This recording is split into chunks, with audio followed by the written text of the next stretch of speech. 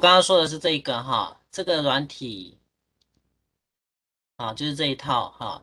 那它的那个符号标签是写 BR 哦，Bridge 哦。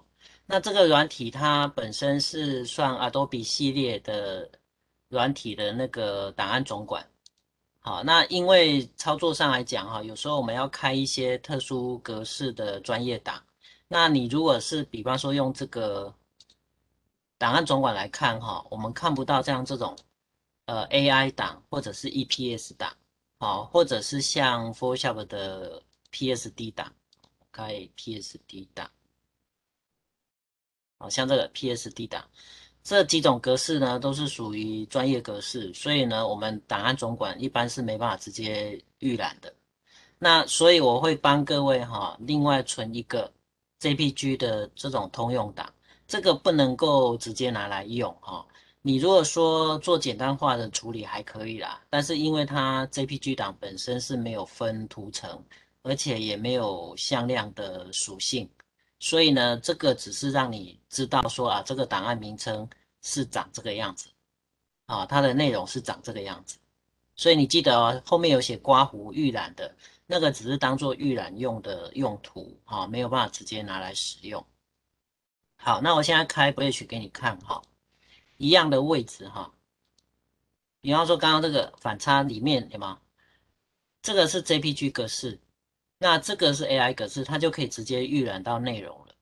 好，所以等于说，平常如果我们要去整理图库的内容，那我点这个直接来预览就会比较快。啊，它就可以直接呢把它换算出来了。好，那比方说刚刚这一个 Photoshop 的格式，它也可以直接看到内容。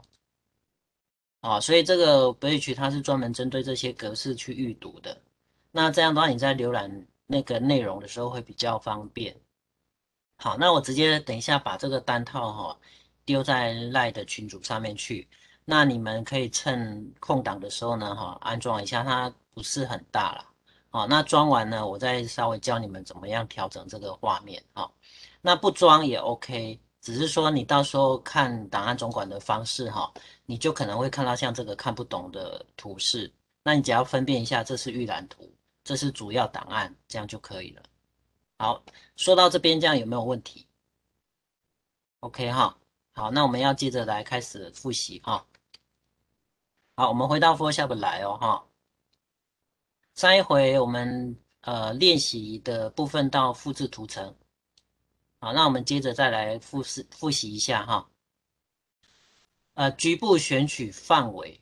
啊，那一样啊，我们要复习，总要有一个档案来开始嘛，哈，所以我们一样还是开出刚刚上一回哦，各位练习的那个部分哈，我再按一次给各位。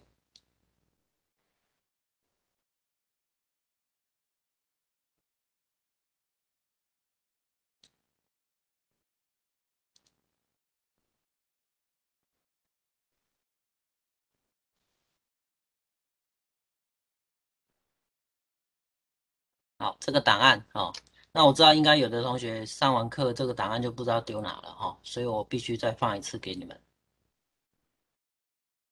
好，我传到赖上面去了哈。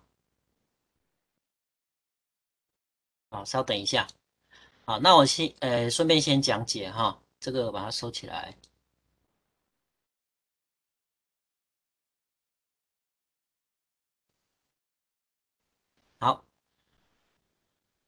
我先把这个灯光先关闭。那我们画面上哈，你会看到呢，比方说我今天想要复制某个区块的物件，对吗？啊，我们上一回就是讲到这个地方，比方我在这个招牌，招牌这一层啊，我选一个矩形的工具，我把这个画面呢框一小部分出来。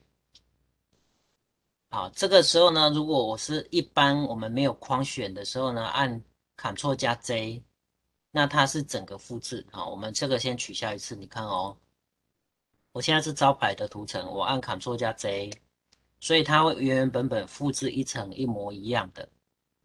好，那我还原。如果我现在呢是框选的这个范围，我再来按 Ctrl 加 J，那它就只会复制我所框选的范围。好，那讲到这边哈，我暂停。那你先练习一下。呃，复制的部分 OK 哈，那我们来看哈，重复加选图层啊，好，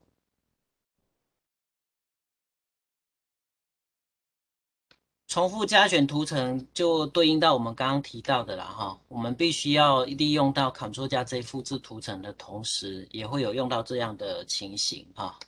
好，比方说呢，我今天想要复制的呢是这个植物哦，这个植物，还有呢这个椅子，那连带的呢椅子下面呢还有这个阴影。啊，我把人关掉，这样看得比较清楚哈。我要植物哦，椅子，还有阴影，那我同时要把这三层选在一起，这个时候呢就有两个按键。来辅助哈，一个呢是 Shift 的键，如果你要连续三个图层一次选到底，那你就是第一个图层已经选定位了，接下来按住 Shift 的选最后一个图层，这是连续用的，这样它就会选在一起。好，那第二个辅助键的按法呢是可以跳着选，比方说呢，我的图层现在选取的时候并不是连贯式的，可能是呢其中有包含到花车、那植物啊，还有椅子，但是没有影子。那这时候呢，我必须要按住 Ctrl 键，只点植物，然后接着点椅子，再就跳花车，这样就是跳着选。好，所以 Shift 键呢是连续选，那 Ctrl 键的用法呢是跳着选。好，那我们回到刚刚的状态哈，植物、椅子、椅子的影子这三层，我选起来了以后，我想要一次把这三层的状况也复制一份到别的地方去用，那这时候我就是按 Ctrl 加 Z。好，这时候呢，很明显我们就已经复制出多一份了，一模一样的一份了。那通常它的图层名称后面都会加上“拷贝”两个字。好，这时候我可以顺便直接再去用移动工具，把这一整组的物件移动到另外一个地方去用，这样我就可以一次新增三个图层出来。好，这个是复制图层的另外一个用法。好，那请你记得哈，这是怎么样去加选图层。好。来，各位练习一下哈。好，那选的时候呢，你要注意看图层面板，图层面板的那个灰色呢，看的比较浅，好，比较浅色的时候，就是有选到图层的部分，好，所以图层有时候在操作运用上，不会只是控制一个图层，有时候会需要用到多个图层。好，那我们接着再讲这个另外一个功能了哈。呃，使用移动工具。好，然后呢，加上微调啊，微调的作用是拿来做对齐的哈。好，我们继续哈。好，比方说了哈，我们现在拿这个橡木桶，我把橡木桶移动到这个画面中央哈，然后呢，我要跟垃圾桶两个来做对齐啊，我把橡木桶移高。好，这里有垃圾桶，那我想要把垃圾桶跟橡木桶两个做一个对齐的。很准确的这个状况有没有？那你注意看，我在移动的时候啊，画面上会出现很多蓝蓝的小标签跟线段，好，这个叫做智慧型对齐啊，这个叫做智慧型的对齐。但是呢，它的对齐是看像素的所在位置去做对齐的依据，所以你看它下面这里有一条线已经对到了，有没有？但是实际上它并没有完整的对到那个橡木桶的那个架子的底下。好，所以这样的对齐有时候是不准的，因为呢，我们是以这个目视的观察，哈，就是用我们眼睛肉眼直接观察对齐的准确度到哪里。所以这时候如果呃电脑它自动判别的效果不对的话，那你就可能需要用到微调。好，那记得哦，你现在在操作的时候呢，你一定要原则上是使用到移动工具。好，那比方说我们近一点看哈，这个热圾桶的底部。跟这个架子的底部差了一点点，我想要让它呢完全的对齐，有吗？那我这样子呢，用滑鼠去移动，因为滑鼠的灵敏度不是非常的细致，所以呢，你可能怎么对都好像对不到，有吗？所以这时候呢，你可以用键盘，键盘的上下左左右键，只有在移动工具的情形下，它才会对应出来，它是可以拿来做微调的，那你就可以这样慢慢微调，好，微调的情形下。它就可以调到你想要的位置，好，所以它移动的轨迹呢，一次是一个像素的位置，啊，就是一小格的位置。那如果你要加快移动的速度呢，你加按 Shift 的键，再去按上下左右，它就一次会移十个像素，十个像素的距离。哦，因为各位你们现在用的那个电脑荧幕啊，可能每个同学的配备状况不同。那建议你哈，如果你是用到荧幕比较小的状况哈，你 Photoshop 的软体就不要再开小小的，你可能要尽量占满全荧幕。哦，那配置上来讲哈，如果你在操作上来讲暂时用不到一些工具的话那你可以按一下键盘左边那边有一个 Tab 的按键。好，按一次它会暂时隐藏，好，这样去看整个画面会比较啊空旷一点，哦，再按一次 Tab 的按键，它就会恢复到刚刚的状况，啊，这个是提供给小荧幕的人有一个比较方便的用法，啊，删除不要的图层，哈。这个是必备的功能哈，因为有时候我们制作档案的过程啊，总是会有或多或少多余或者是已经不需要再用的图层哈。比方说了哈，我现在呢这个画面上这两个灯光哈，我觉得太碍眼了，而且我也实际上不想要用到黑夜嘛。那我想要把这个灯光这一层呢直接丢掉，那有两个方法，一个方法比较直接快速啊，就是按 Delete 按键删除键，我只要先填好图层，按 Delete 按键。它就会直接删除掉。那另外一个做法呢，是用拖曳的，用我的滑鼠左键呢按住图层，啊，空白的地方按住，然后呢往下拖曳到我们图层面板底下的这个垃圾桶，好，这边有个垃圾桶的符号，好，那你看哦，我们在拖曳的时候呢是一个拳头，啊，拖曳到这个垃圾桶的时候呢放开，它就会丢掉，哦，这两个做法，哈，好，我们各位练习一下。呃，接下来是看哈，使用参考线跟格点啊，参考线跟格点。呃，这个地方呢，要借用到的是这个检视功能表啊，检视功能表这边。好，我们来看哈，这里有一个项目叫尺标。好，打开尺标，这时候你的上方跟左侧呢，都会出现这个尺规。那尺规呢，你只要往这个尺规上面呢，用左键哈，滑鼠左键按住不放，你就可以拖曳出一个横条的线段。那那如果是用这个左侧的尺标拖曳呢，就会拖曳出一个垂直的线段。它可以拿来让你重复做对齐的使用。因为呢，我们在这个解释功能表里头有一个预设值叫做靠齐是打勾的。好，所以这个项目呢，它就会造造成说你在做一个物件移动的时候，靠近线段，它就会自动去做对齐跟吸附。啊，比方说呢，我现在用垃圾桶，那当我移动的时候呢，移动到靠近线段，它就会自动粘过去。啊，它就会自动粘过去，所以它就会粘在这个地方靠齐了。啊，这是参考线的基本运用。那参考线呢，它是可以利用移动工具，啊，就是这个移动工具，可以再一次移动它。所以呢，你如果第一次拉出来位置没对准，你可以反复的移动。好，那假设说我现在呢怕线段不小心去动到，我想要锁住它呢，那你一样是按检视功能表。好，这边呢有一个项目叫做锁定参考线。你一旦锁定了呢，你用移动工具就移不动了。好，那一样的意思哈。线段总有用完不想用的时候嘛，那你有两个选择，一个是暂时隐藏。好，那暂时隐藏是按 Ctrl 加 H，好，Ctrl 加 H，好是隐藏，再按一次 Ctrl 加 H，它就会再恢复。那如果要永久的不要再用参考线呢？那一样哈，回到检视功能表这边呢，有一个项目叫清除参考线，它就会清除掉了。好，我们先到这个阶段哈。那参考线这个作用呢，它的目标主要是用来做对齐的，哦，所以呢，它在列印上或者是交稿到印刷厂去印刷的时候呢，参考线是看不到的。有看到了，有哈，对，你在浏览器的搜寻哈，你打这几个字，好，那第一个页面啊，第一个搜寻出来的这个位置啊，就是它的。那个软体的官方首页，啊，因为怕说你如果乱安装，可能会有那个病毒，对吧？那来到这边，现在目前它最新版本是六点零二，啊，啊，你就找它这边上面呢，这里有一个下载试用版，好，按下去。好，那我们一般都是 Windows 嘛，所以你就看哦，你是 Windows 的三十二位元还是六十四位元？现在大部分同学都是六十四位元嘛。好，那你除非说你英文真的很很熟悉啊，哈，不然的话我们是都以装中文版为主，所以当然就是选这一个。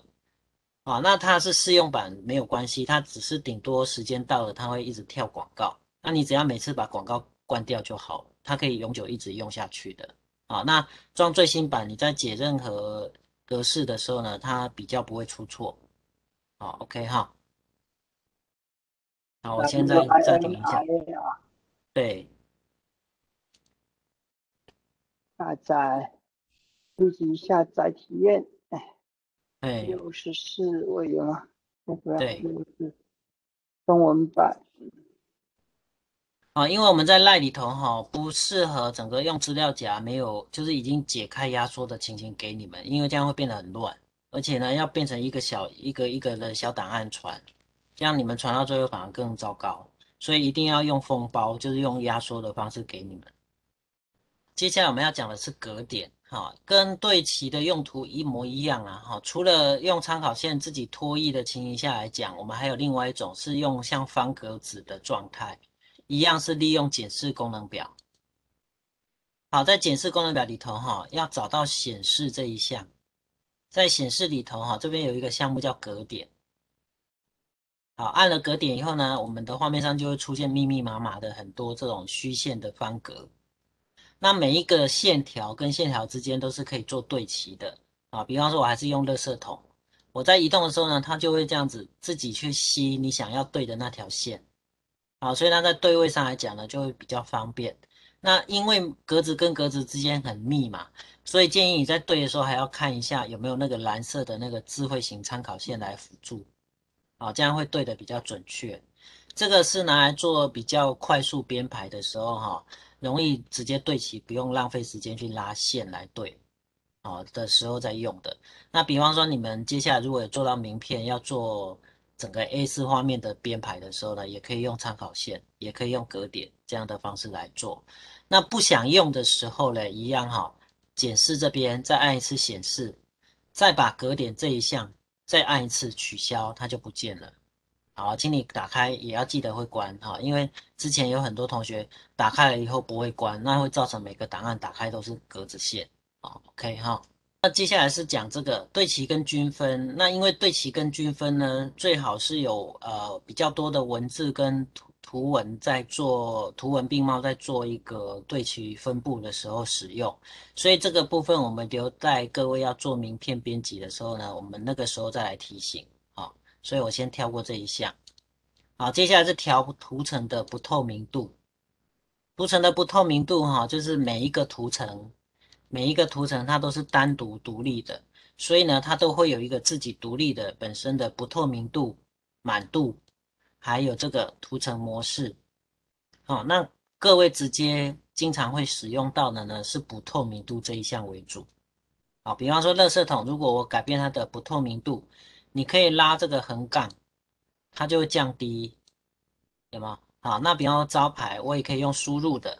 我可以把这个数字哈，这个地方 mark 起来，然后直接输入。比方我输入五十，那这个就是五十的满度。好，那不透明度有一个特殊现象哦，只要是图层上面的修改，它随时都可以改回来，因为它是活动式的。所以，比方我现在不满意五十啊，我想要回到一百，那我就再按一下，把它拉回一百，那我的满度就会回来了。所以你透过这样的编辑啊，往往就可以做很多效果。啊，比方说这两个就会有重叠的效果。啊，那两层、三层，如果每一层都有各自不同的不透明度组合，那就会变成有叠色的效果。啊，好，或者是说有虚影、鬼影的效果。好，请你试试看几个图层。哈，我现在举个例子。哈，这个是比较烧脑的部分了。哈，那呃，能够听得懂这个道理、这个原理的同学，哈。那你可能对于影像处理的概念会比较好。我现在来到门这一层哈，门这一层，我把门移开给你看，它底下是长这样了哈。好，假设说我这个门本身它的不透明度百分之一百是完全不透光的，就是底下看不到的。好，那这种情形下我们是 OK 的嘛？那我如果改变它的不透明度降低啊，我们是不是就穿过去？好，我放个东西在它底下好了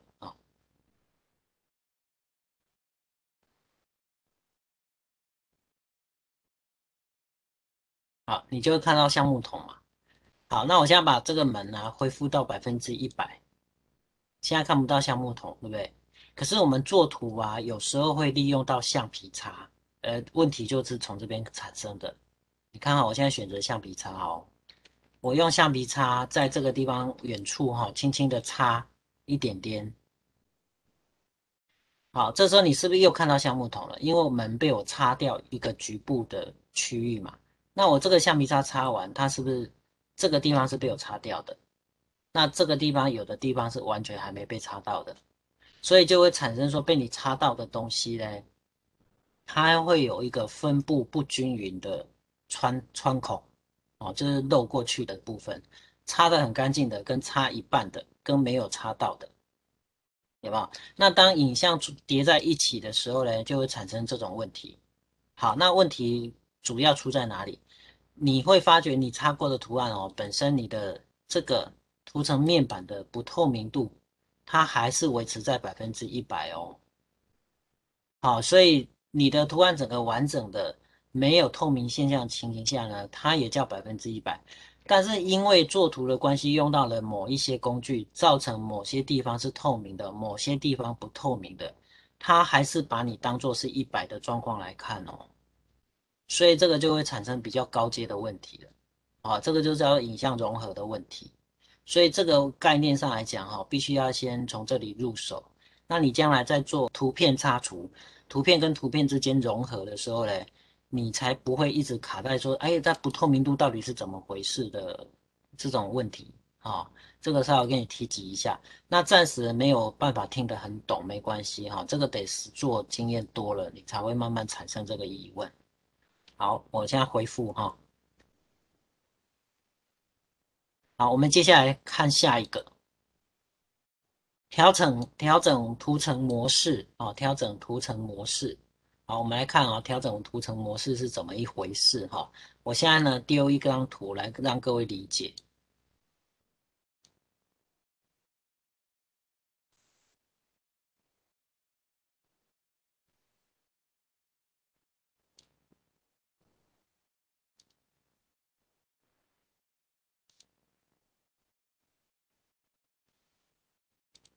好，我们用这两张图，好，我丢给各位哈。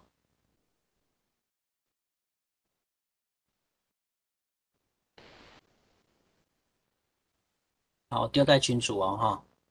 我们另外单独打开，好，我这里有两张图哈。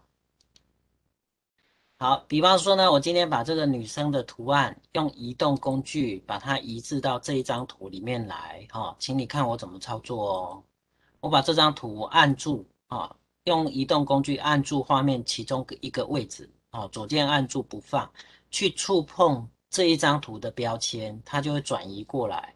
那这个时候呢，滑鼠不放开，我再移回来画面中央，再放开，它就会进来这里了。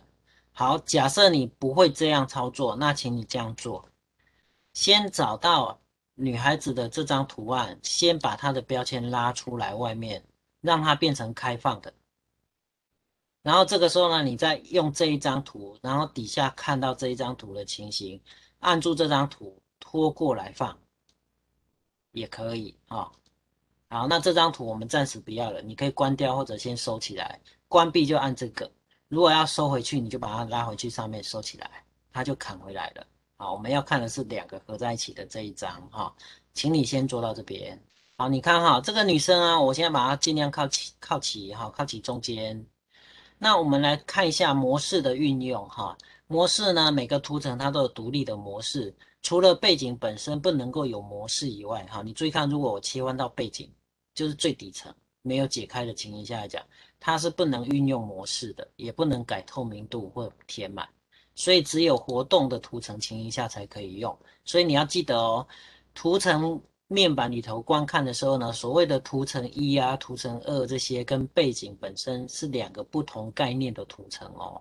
啊，背景这个意思就相当于是一个书本的封底，封底本身呢预预设值是不会洞穿的，所以它也不能修改其他的状况啊。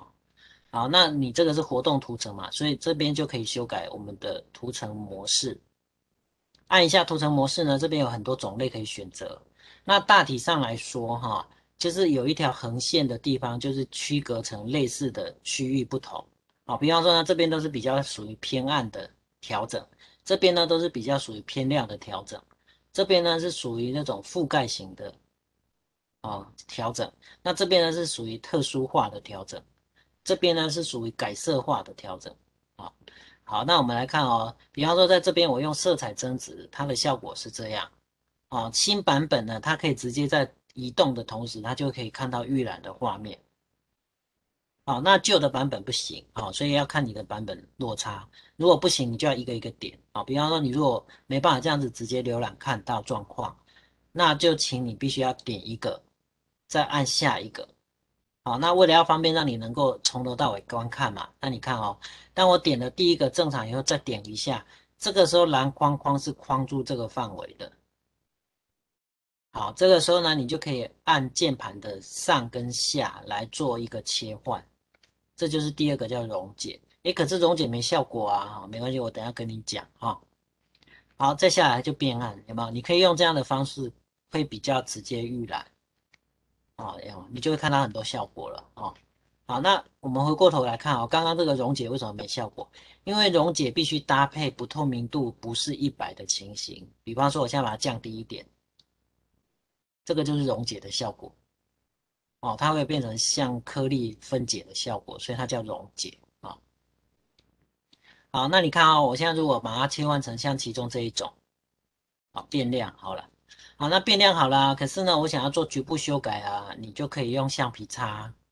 好，我们选到橡皮擦，我可以局部去改它的周边，好吧？那它就会有融入的效果。好，你可以用这样方式再去做进一步修改。那这一个模式本身呢是。让你优先选择你要修改成什么样的画面的气氛，或者是说画面的感觉啊，用这样方式来去做修改。所以大部分的影像处理，它会运用到这个叫做图层模式啊。好，请你练习一下。好，接着哦。好，接下来呢，你必须要会的技能之一哈，新增空白图层哈。那这里你要搞清楚一件事哦，哈，我们这个档案我们就不要了哈，我们直接关掉，舍弃掉，不要存哈。这个我也不要了。好，你看哈，我们有分新增空白的档案跟新增图层，你要搞清楚哦，哈。新增空白档案是这个开心档案，哦，等于呃，比方说你要做网派作业，你会从这边去新增你的这个空白档案的尺寸啊，等等。有没有选择你可以用的这种格式跟项目？好，那我们说的新增图层呢，是指我这个档案已经是原本就有的档案了。那我想要新增一个图层来做什么？哦，通常会利用到新增图层，我们选择最上面这一层来，再按一个新增图层的按钮，它的位置在这里啊，这个符号啊，建立新图层这个符号，就是在图层面板的垃圾桶隔壁这一个。好，那当然你也可以按图层功能表，这边也可以找得到。啊，那这边的部分呢，因为它的种类啊跟项目太多了，啊，所以为了让各位单纯一点，哈，直接建议你按这边会比较快。啊，好，那我们新增一个哦，这个是新增出来的图层，通常会用到新增出来的图层呢，最主要的用途是用在，比方说用笔刷画画。啊，或者是说呢，有一个位置要做填满啊，编辑填满这样子是吧？或者是用渐层这几种功能的时候呢，会用到哦。那其他的，比方说输入文字，不需要不需要建立图层哦。好，新增文字的时候呢，直接在画面上点一下去打字啊，你看哦。在画面上点一下，然后去输入文字，它就会自动产生一个文字图层了。哦，它就会自动产生文字图层所以它文字在输入的时候是不需要新增图层的。哦，懂哈？只有要画图的时候才会新增图层。画图就包含用笔刷，或者是用填色，或者是用渐层，都叫画图。只有在画图的时候会用到新增图层。好，OK 哈，那请你自己建立一个图层来用。好，这边考考你哈，请你呢学会建立新的空白图层，并且呢至少用笔刷在画面上写个字，然后呢再利用填满跟渐层工具各画一次。啊，填满你可以选择要不要框或者不框都可以。填满你可以按编辑的呃填满指令，然后选择前景色，或者直接按 Auto 键加 Delete 键。就可以填前景色了。那要选择颜色的话，请你事先填之前去选色票。啊，那建那个建成工具呢，你自己要挑选哦，哈，在那个橡皮擦的下面那一项。好，我们接下来看笔刷的基本调整。笔刷用到的几率哈，相对上来讲，在做网拍作业上来讲呢，没有频率那么频繁了哈，但是也是需要或多或少用到一些，至少要用到橡皮擦。诶，那各位就会很好奇啊，为什么提笔刷会讲到橡皮擦？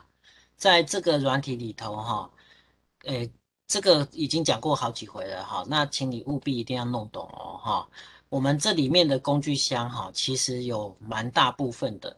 比方说这个，呃，这里啊，这个污点修复笔刷、修复笔刷啊，还有的这个笔刷工具啊、铅笔工具啊、颜色取代工具啊、混合笔刷这些工具等等，还有仿制印章啊、哈图样仿制印章啊这些啊，还有这个哈，这是各位不会用的哈，步骤记录的笔刷哈，还有橡皮擦等等，还有哦哈，这个。模糊啊，锐利指尖工具啊，还有加亮加深海绵啊，这些等等的工具哦，它通常都是利用到笔刷的调整方法，去控制笔刷的大跟小，还有硬度啊，哈是虚的还是那个锐利的这种情形，再去做调配，再去做使用，哦，是这样子的哦，所以它的概念上其实很接近，那所以作用上是只有在最后完成的处理。它得出来的结果不同，但是过程的调整，其实这些工具都很雷同。如果你掌握这样的概念哈，其实很多工具学起来不会累，哦，也而且不会老是要记很多东西啊。好，我们就用笔刷来练习就好了哈。那接连刚刚的作用哈，请你先建一个空白的图层，然后呢，我们选择笔刷工具，记得哦，是这一个笔刷工具哦，哈，不要选错笔。啊，一定要看清楚，完完整整是一个画笔的形状哦。哈，笔刷工具。好，来画面上哈，按住那个键盘的 Auto 键，Auto 键哦，哈，Auto 键，再按住滑鼠的右键不放。这个时候你如果往左右往右拉动呢，它会变大；往左拖移呢，它会变小。好，那你如果往上拖移呢，它会变成硬度是零的。哦，它会慢慢转变到零，往下拖移呢，到最后就变硬度是一百。好，再讲一次哦，哈，在画面上按住 Auto 键不放，往右拖移会变大，往左拖移会缩小，往上拖移呢，硬度会慢慢变成零，往下拖移呢，硬度会变成一百。好，拖移完成了要画画的话呢，你必须要选择对应的颜色。好，比方我现在选蓝色，那我才能够在画面上画画。好，那你至少要能够会调大小、硬度，还有嘞就是选颜色来画画。那请你至少画两条线，一条是硬度一百的颜色，再换一个颜色，硬度是零的颜色，请你画两条线哦。哦，那现在这边跟你提醒一下哈，同学要留意哦。我们在用 Photoshop 的时候，哈，我们的键盘状况，哈，有两个地方要注意。呃，如果没有注意到，会导致你的状况不理想哦。第一个现象就是说，请你不要把那个大写键的灯按亮。哦，通常大写键是在我们左键盘左侧的 Shift 键上面，有没有？你如果不小心把那个灯给按亮的话，哈，这个时候你会不容易看到笔头的那个轮廓，哦，就是笔刷那个圆形那个轮廓的位置哦。如果你按了大写键的灯按亮，好，我现在切换给你们看哈。好，我把这个清除。你看哈，我现在来到笔刷工具哦哈。好，我的笔刷源头看得到，对不对？那如果我现在把键盘的大写键的灯按亮了，我就只有看到一个十字准心。我就看不到那个源头大小哦，但是呢，你如果在按 Alt 键加右键调整大小的时候呢，还是可以看到的。好，实际上它并不会妨碍你的，但是只是说你看不到轮廓的情况下，你不是很确定它有多大哦，所以记得大写键的灯不要按亮。第二个按键呢，它会导致你有一些按键的功能会失效，就是当你在操作画面的时候呢，你的这个地方的呃，抱歉。你的这个地方的输入法啊，你不要切换成正常的预设输入法以外的其他输入法。比方说，我现在如果切换成那个注音，切换成注音输入法的话，它就导致我在按某些按键的时候呢，它会呆掉，它会没有作用哦。好，这两点要特别注意。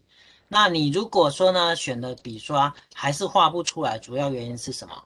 我刚刚有请各位嘛，你一定要新增图层。你一定要新增图层在最上面，你来画才有作用。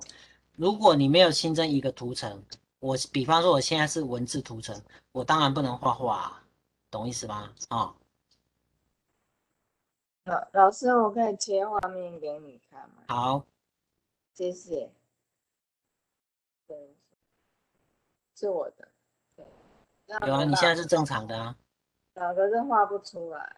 好，你有没有看到你上面有一个选项写不透明？嗯，因为你把它调到百分之一了。可是还是画不出来。好，我看一下哈。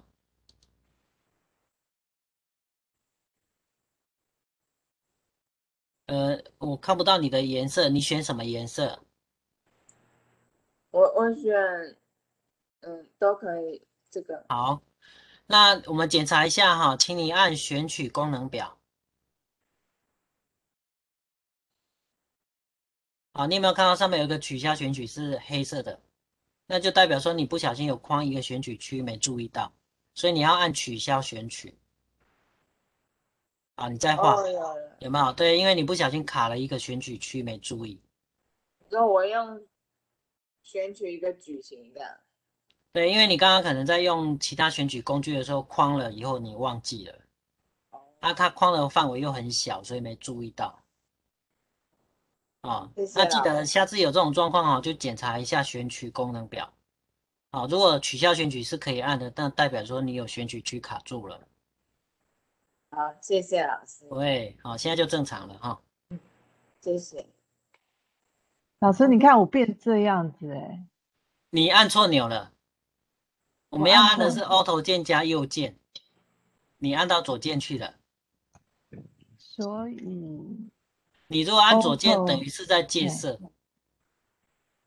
好，你到画面中央，好，按你按住 Auto 键，然后按右键，你按左键。哦，懂懂懂。对对对，你按左键是在借色。哦，好。好，OK，好，按你左边那个面板哈，把它改成图层面板。我不会改，因为我又换平板，因为我 灌不进去桌机。老师，好，来，你到那个呃图层功能表，啊不，视窗功能表上面视窗功能表，有看到吗？上面倒数第二个。哦，有，嘿。好，你按视窗功能表，对，然后你选图层。图层。下面。哦，有。哎，对，好，按下去。然后呢？好，那你上面那个，呃，那个叫什么？资料库旁边啊，学习学习那两个字哈，快点两下。好了。哎，对对，好啊，你现在调整一下面板哈，图层面板的右侧那个四条线的符号按一下。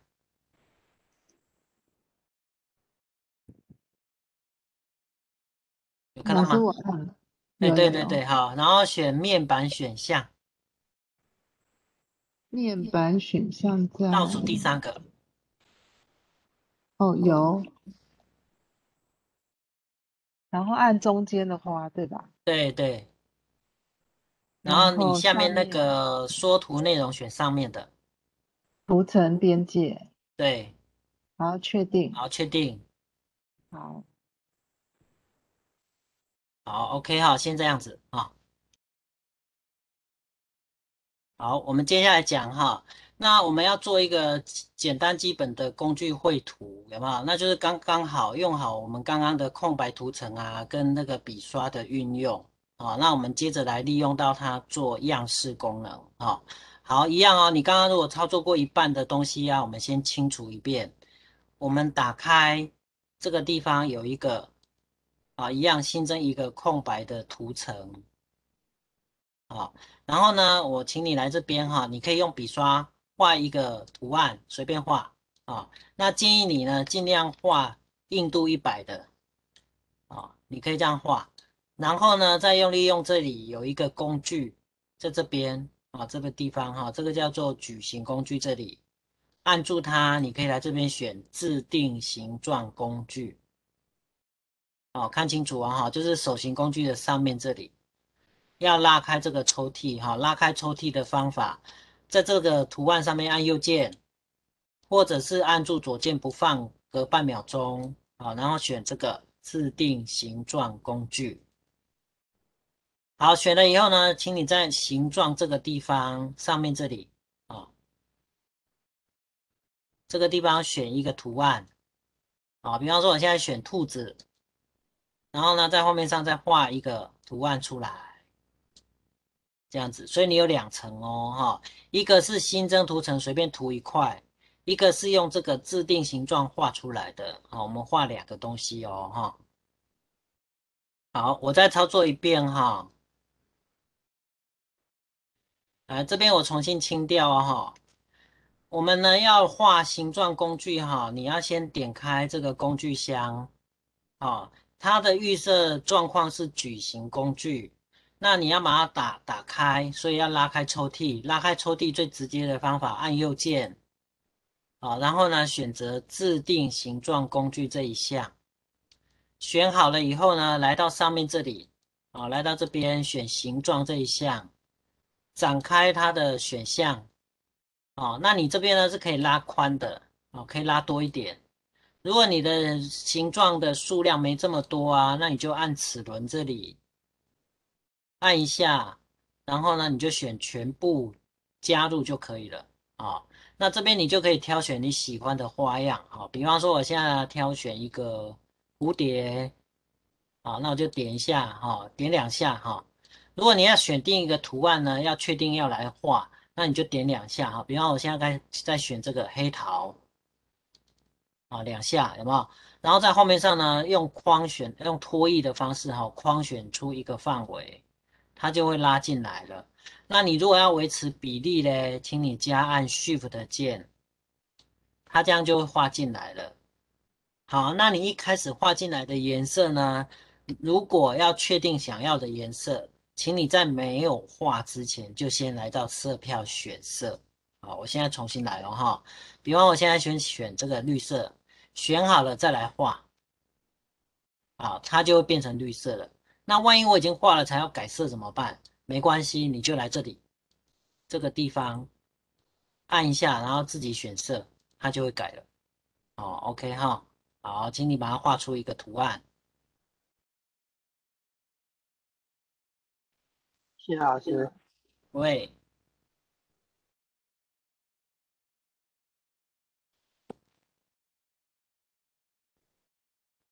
这个形状工具哈，你初期呀做一些呃，比方说网络的按钮啊，哦，然后那个小图案的指向效果啊等等，呃，蛮快速蛮好用的。尤其是呢，等一下我们搭配样式以后呢，你会觉得它看起来哈还蛮惊艳的。好，那用到样式功能呢？你在做网拍作业的时候呢，可能会有蛮多部分会用到的哦，所以样式记得哈，等一下讲的时候要留意哦。老师，我如果在，比如说在你这个桃子现在是蓝色的，我要改颜色的话呢，嘿，好来，你看啊、哈，要怎么改？哎我们我们目前是不是这个蓝色的黑桃？那我想要改色，对不对？好，所以我就要来到这里，有看到吗？填满这一项，对，你要点这边，然后从这边去选择颜色，你可以拉动到你觉得满意的状况来选。啊，比方说我现在想要选这个桃红色，它就会变了。那好了，额外多提一项哈，你有没有看到旁边这边还有写一个笔画？是这个笔画是框边的意思，因为它目前的预设值是静止的。如果你把它打嗯开，好，这个时候，比方我去选一个框边的色调，好，比方我选这个颜色，它就会加上一个细边，可是细边不够宽啊，我想要更粗，那你可以选这里。你有没有看到我的框边就变粗了？有对，这个是模拟向量绘图的，所以它很像是 Illustrator 的画面。好哎，，老师，那我我再请教一下，就是哎说，当我在按那个填满颜色换了颜色的时候，它会变成说，哎，图层又新，呃，这个这个桃子又新增一个，而不是在不会原来的改色。呃，不会，因为你目前的预设值哈，这个地方它是处在形状状态，是所以它是完全模拟向量的。所以你现在不管任何的改色啊，或者是边框色的修改啊，这些都是活动式的，可以一改再改。啊，好所以你好比方我现在再重新改一个颜色，它并不会改变图层的状况，它只是呃自由的让你重复的修改。啊，这个是完全模拟向量状态的。哦，OK 哈，谢谢好，我先暂停哦。来，我们回到刚刚用画的这一层哦，哈，我们用简单的样式啊，这一层我们先来用简单的样式，请你来底下加阴影，啊，这个地方哈，f(x) 这个符号，这个是自定样式啊，加阴影。好，请你把这个调整面板拖移到看得到物件，这样你才能够控制哈。好，请你加一个足够明显的阴影，拉动它的不透明度啊，改改变颜色啊，间距啊，还有尺寸等等。好，随便改一个出来，然后按确定就好了。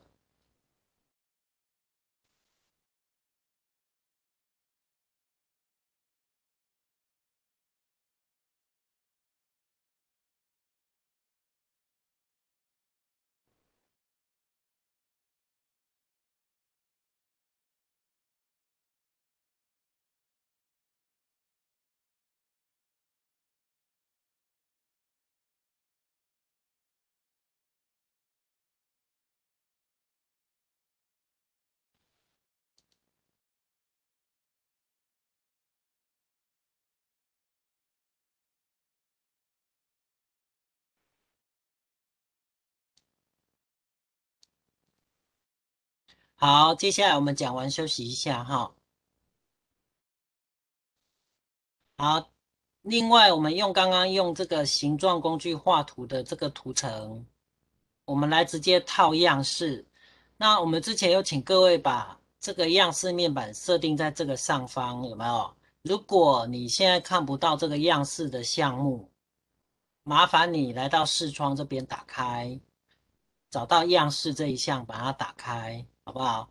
那打开以后啊，你可以在这边挑选样式使用。如果样式不够多，请你按旁边这个四条线的符号，好，按这边来增加一些。啊，你要增加哪一个都可以。比方说，你要增加一个按钮样式，那你就按加入，它就会加在它的后续。啊，好，我现在点几个给各位看哈。啊，点下去就会改变了。那你如果要换成别的，你就直接点。啊，你就直接修改，你可以不断的修改。那这个是直接套用。好，那有机会的话，我们再来讲细部的修改啊。这个只是套用而已哈。那你就趁休息的时间哈，自己调整一下看看。我可以共享一下我的画面吗？OK，我在画这个图的时候，哎，我如果选了一个颜色，可是我再按一次，它改了，对不对？但是我这个呃，我这个浮标并没有呃取消，所以我在按一个动作的时候，它又会画出现这个画面。那我按哦确定，它就会新增一个。不是不是，这个是呃像 Illustrator 的作用一样，就是当你呢没有用拖曳的情形下，在后面上直接用点的，它就会让你去设定你想要画多大，它会自动产生。所以你记得，你画完图如果不想要再多增加或多画，你这个时候就不要再用滑鼠乱点，那懂意思吗？哦，那如啊，因为我们现在工具呃不用的时候，你不动是不会有问题的。但是这个形状工具哈、它是完全模拟成 Illustrator 的状况。它 Illustrator 里头也是这样，当你用滑鼠直接点一下，它就会变成设定的框架。啊，你在里头如果设定完了，按确定，它就会产生图案。所以呃，我我要怎么让这个浮标可以就是它不再出现？呃，你一样哈，你的工具箱里头永远都会有一个符号是正在用的。如果你不喜欢让形状工具一直卡在这里，有没有？那建议你把它切换成第一个工具，就是回到移动工具，对，这样你就会比较习惯，OK，它就不会再乱出现东西了。好好好，好，谢按你刚刚多画的把它删掉就好。好，刚刚提到样式哈，那这个锁定功能我们就先跳过哈，呃，暂时这个比较没有必要用，所以我们就先不用讲啊。那剩下一点点哈，后续我们这些呢也可能会先省略，最主要就是讲到文字而已啊。那文字搭配样式，好，我们现在来做一个简单的文字输入哈。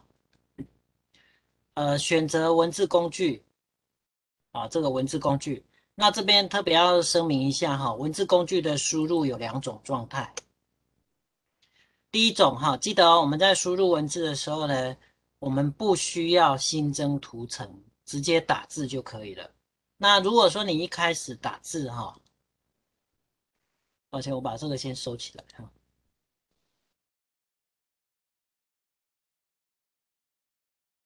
好，一开始打字的时候哈，如果我们现在按一下画面，看起来字的范围很小，那我需要一开始打字的时候就看得很清晰啊。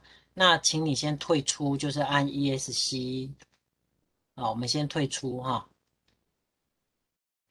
一开始先在这个文字的尺寸上面哈，先去选择大一点的。好，那假设说我们现在选择的文字大小还不够大。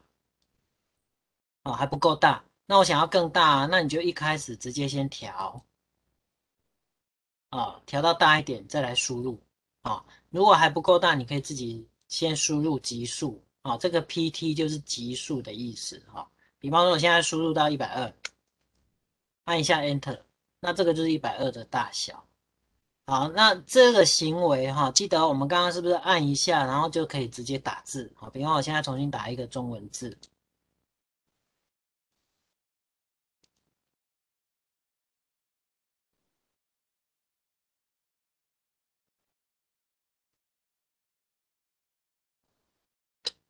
好，这样子打。那打完以后呢，你必须要按上面的这个打勾，叫做完成输入。那你如果是用那个桌机用的键盘，我们的键盘的右侧有九宫格的那个数字那边，右下角也有一个 Enter 键，那个 Enter 键代表的就是打勾的意思。但是你不能按一般的 Enter 键哦，因为你按一般的 Enter 键，它会变成是跳下一行哦。好，记得哦哈。那按打勾完成输入，这个叫做锚点文字。锚点文字的意思呢，就是说你滑鼠在画面上轻点一下放开，就开始输入文字，这个叫做锚点文字。通常它的用途是用在输入一个单行的文字，或者是行数比较少的文字，那是拿来利用在做一些美工编排，或者是要修改文字。做一些有造型的文字使用的。那如果说你今天是有一个一组文案要输入，我现在比方说我现在取一组文案来用。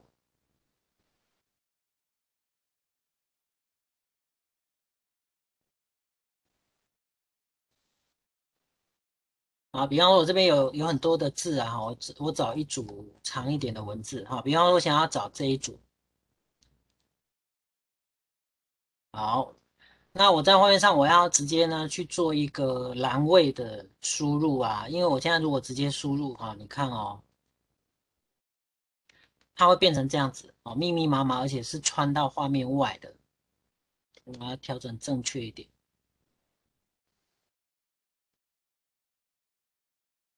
哦，字会变得非常凌乱，而且超出画面，这样是不对的嘛？好，所以我们现在重新还原哈。如果我在输入文字的时候呢，我是在画面上先框一个框框，这个是利用滑鼠的左键拖移。哦，输入文字的时候用文字工具去拖移哦，所以不要把它搞混，变成是用矩形工具哦，这是文字工具直接拖的。这时候会产生一个文字框，然后呢，我们再把文案贴进来。好，然后重新去调整一下它的大小尺寸啊，比方我现在全部 mark 起来，改变一下它的级数，哦，然后呢再改变一下它的间距、行距，好，好，那你比方说输入完成啊，你觉得呢？呃，我的框架不够用啊，我想要把它拉拉高一点，那你就拉边框拉高。哦，那你如果要往左拉，你就往左拉，这样的话，它就会慢慢的容纳到你足够用的范围，所以它的边框边界呢，它会自动断行。哦，这个叫做段落文字，跟刚刚前面的这个锚点文字啊不同，哦，所以它是拿来利用在编排，比方说杂志或报纸的栏位用的。哦，好，所以呢，记得哦，我们的软体里头哈，输入文字有两种输入方式。一种是点一下输入，那一种呢是框一个呃文字框架，然后再输入。这两种等一下各位都会用到哈。呃，第一个锚点文字主要是拿来利用，比方说设计 logo，或者是做一个 slogan 啊，或者是做一个简短的标题用的。好，那段落文字会用在哪里？比方说你要做那个品牌故事，那那个画面的时候呢，就会用到这个。呃，段落文字的框来设计，好，那你也不用紧张，我们先了解一下这样这样的状况就好。等一下在做的时候呢，我会带各位再做一遍，好，所以你先理解，输入文字有分锚点文字跟段落文字两种。好，那我现在给各位稍微试验一下哈，请你这样做哦，哈，我重新来过。好，请你呢先用点一下的方式，我把这个画面清空一些哈，让各位看得比较明白。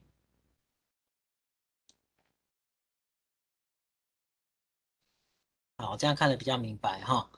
请你呢，第一项先在画面上点一下，然后请你去输入文字。啊，那如果你的文字很小呢，请你事先把这个文字调大，再来输入。啊，然后呢，输入的时候呢，随便一行，你可以直接复制一行练习，或者自己打字。啊。那输入完毕了以后呢，记得这个叫做确定输入，所以是完成输入。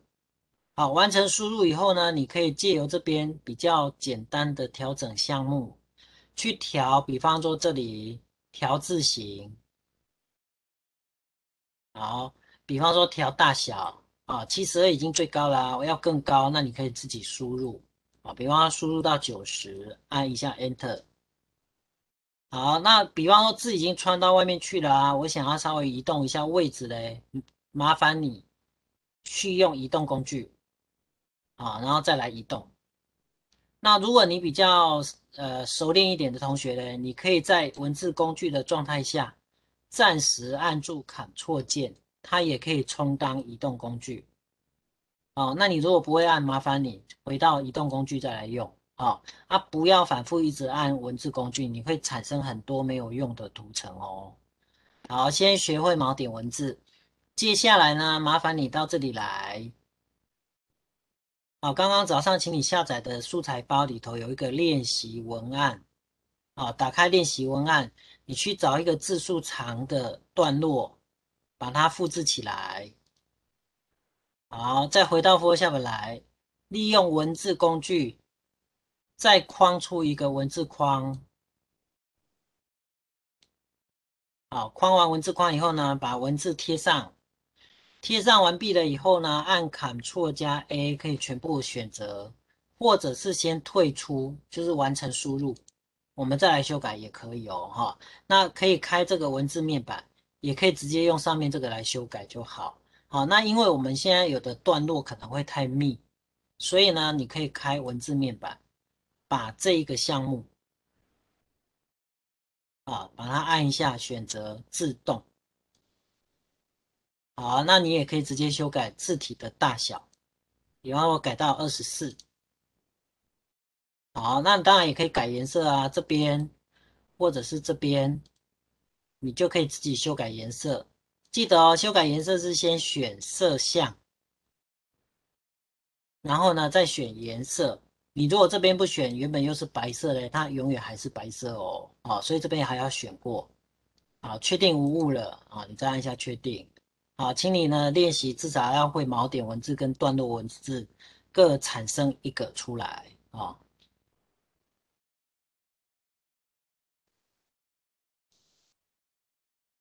好，我现在回到画面哈，那我现在做一次那个画面字体的微调给你看哈。我先把字体呢调工整一点，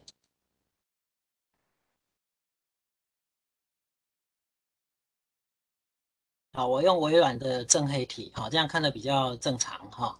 好，紧接着啊，如果说，比方我这个内文里头啊，是不是有时候我们会遇到像这个里头会有一个开始的标题，好，或者是每一个主项目，那这些主项目啊，如果我要设定好，让它能够正常。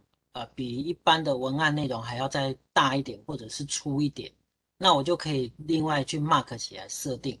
比方说我现在这一行就是单纯只有选这一行的范围。好，呃，抱歉，我稍微微调一下哈。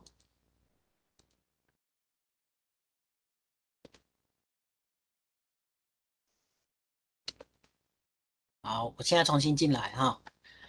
比方说，我把这一行选起来。那我们这个资源面板的下方这边有一个，比方说加粗啊，加粗啊，或者是直接调字体的大小啊，比方我加粗又要调大小啊，它就变得比较粗了啊，变得比较粗了。然后呢，我可以再改一下字的级数，比方说二十四啊，我想要把它改成二十八啊，这边没有二十八，我自己输入 Enter 啊，所以呢，我这个。项目的部分，它就会比内文要来的明显。好，那当然啊，我也可以把内文直接改别的效果，比方说字的字形或颜色啊。那比方我不喜欢这个颜色，我想要改另外一个颜色，我只选这个段落，然后呢，我来色票直接选色。好，选完了哦，这个时候它就改好了。哦，有没有？这个就是局部局部的修改，但是它的原则就是你一定要先用。单独 mark 起来的方式去选你想要改的那个部分，哦，这个就是文字本身它编辑的时候的要求，哦，那这个资源面板它可以修改的项目会比较多，那为了要让你方便做作业，所以比较复杂的部分我们在做作业的时候才讲，哦，好，我先做到这边，那完成以后记得要打勾。好，这个部分你稍微理解一下就可以了。好，谢谢老师。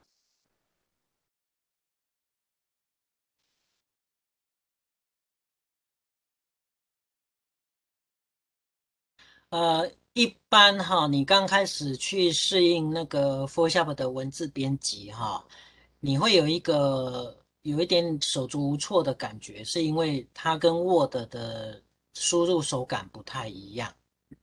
哦，因为 Word 它在输入的时候，哈，它是一行一行是绝对的，所以它变成说它在编辑上讲，除非你是另外用啊，比方说插入插入文字框，哦，或者是用文字艺术师这种东西，不然的话，你在输入文字的时候呢，它都是永远一行接着一行下去的。好，那你就算能跳行，它也是按照行数的规则下去的。但是在 Photoshop 里头没有这样的规则，它虽然还是有一行一行衔接的问题，但是呢，它没有限制你，你的文字呢起点要在哪里？好，或者是说呢，你有很多个文字图层互相可以重叠，或者互相可以做组合。哦，那这一点跟 Word 比起来，它的自由度会比较高。但是习惯 Word 的人呢，一开始会对这个感觉不太适应。好，我现在准备好单一行的文字，尽量把它调大一些哈，因为你要搞清楚哦，我们刚刚是不是图层直直接涂鸦的那个笔画，或者是用形状工具画出来的形状图层，它都可以加样式。那我们现在呢是用文字输入啊，那这个输入完的文字图层，它也可以加样式，你可以自己加，也可以自己套用，哦，你可以套用样式面板，你也可以自己加。那简单自己加，比方说一样哈，我们再加个这个阴影，啊，这个就是加上阴影的效果。那如果直接套用，就是用样式面板，比方我现在加这一个，它就会直接套用进来了。好，但是先决条件记得哦，你文字要套用样式的话呢，通常是为了做，比方说，呃，非常特殊的文字设计，或者是做 logo，或者是做一个呃比较美工化的 POP 这样的文字。所以呢，你的字本身一定要比较粗，字要比较大的时候才用样式。那你千万不要像刚刚这个。这个整段的文字的啊，整段像说明文字或文案的东西，你不要把这个东西去加样式，因为这样会反而更糟糕，啊，并不会比较理想，而且阅读上来讲，人家也不希望你做成这样，啊，所以加样式呢，我们只限于做标题或 logo 这样的字体哦。好，请你练习一下这个。那我们前面的复习就先到这边哦。我们接下来讲一下这个 Bridge 的调整。如果你刚刚有先行安装完毕的同学哈，等一下你可以打打开来调整一下哈。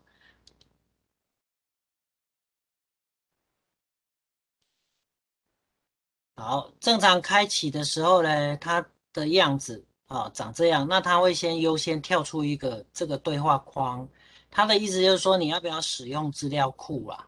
啊，那间接的，请你选择不要。哦，解除这一项，因为呢，呃，如果你现在的状态不是好国民的话呢，建议不要去用到资料库。啊，资料库的意思就是说，你的图库内容啊，它可以用云端来做储存。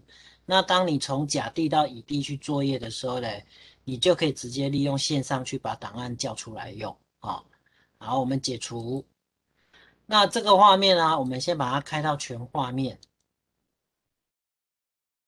好，这样子。那第一个部分呢，就是左侧，它的管理方式有点类似档案总管。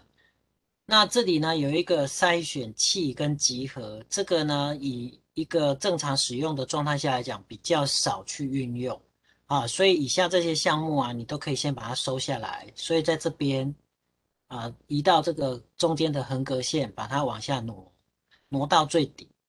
所以这一栏呢，它目前就会看起来比较空旷。那我们要接着使用的呢，是这个地方的档案夹。好，这边呢长得像档案总管，所以不是我的最爱哦，是档案夹。好，那当你展开电脑，这个时候呢，你就可以去搜寻你的资料来源，比方说早上请各位下载的资料啊，你就可以从这边去找到。我们来找一下。好，早上给各位的资料部分，好，这边就会看到了。好，请你先调整左侧哈，那我现在切完给你。好，接着是右边这一个区块，右边这个区块哈，我们需要用到的只有浴室这一栏，像这个中继档跟关键字啊，一般情况下我们也不会去用，所以一样来到中间的横格啊，把这个横格线往下拉，拉到最底。这样子，啊，所以这一区也会拓展出来。这个这个档案找不到。然后呢，你接着把这个区域呢往左靠，靠到呢只看到像单一行，大概接近单一行的状态。我们需要把这个画面留最大。哦，第二个部分做到这样子。那现在正中间这里呢，就比方说你选择的项目里头，你想要观看内容。项目。有没有？那这个图示的大小啊，你点了它就可以看到右侧是它的预览图。这个框架可以随随你的意思去移动，那你可以移动到你喜欢的状况。那这个缩图如果感觉太小，你可以按下面这个地方按加号，它就偏大。你也可以拉动横杠去调到你想要的大小。哦，因为每个荧各位同学每一个人的荧幕大小不同，所以你慢慢折中去调，调到这样子。